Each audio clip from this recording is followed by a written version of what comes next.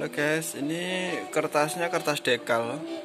Jadi mesin ini tuh bisa dipakai ngeprint buat kertas dekal gitu.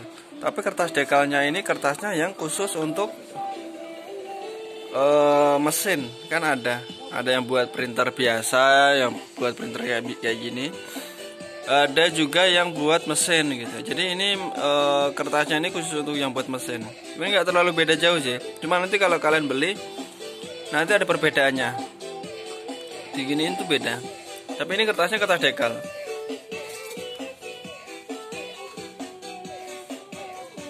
Ini nggak ada merek sih.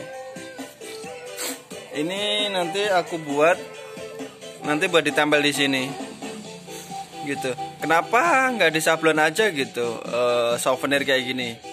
Nah kalau di sini tuh di sablon nggak ada tempatnya gitu. Di sini nggak ada nggak bisa kemudian di sini juga nggak bisa. Harus satu-satunya tuh di sini. Lah berhubung di sini screennya tuh nggak bisa screen. Ini dia agak ini ya agak legok ya apa ya. Jadi harus masuk di sini nih. Nah, makanya aku pakai kertas dekal kayak gini. Jadi nanti bisa nempel di sini.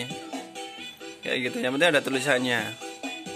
Oke nanti kita coba prosesnya ya. Gimana cara nempelnya di sini ya.